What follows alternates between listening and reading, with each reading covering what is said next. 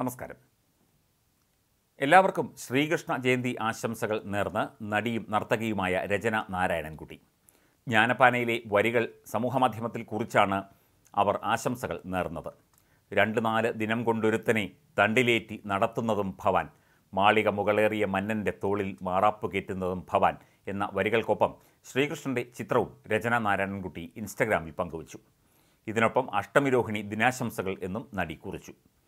Hema committee റിപ്പോർട്ടുമായി ബന്ധപ്പെട്ട് ചർച്ചകൾ സജീവമായി നടക്കുന്നതിനിടയിലാണ് രചനയുടെ പോസ്റ്റ്. നടന്മാരായ സിദ്ദിഖ് മുകേഷ് സംവിധായകൻ രഞ്ജിത്ത് എന്നിവർക്കെതിരെ ലൈംഗിക അതിക്രമ ആരോപണം ഉയർന്നിരുന്നു.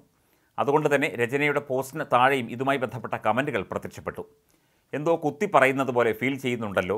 ഇപ്പോഴത്തെ ചിലരുടെ അവസ്ഥ എന്നിങ്ങനെയുള്ള കമന്റുകളാണ് രചനാ നാരായണൻകുട്ടിയുടെ പോസ്റ്റിന് താഴെ പ്രത്യക്ഷപ്പെട്ടത്.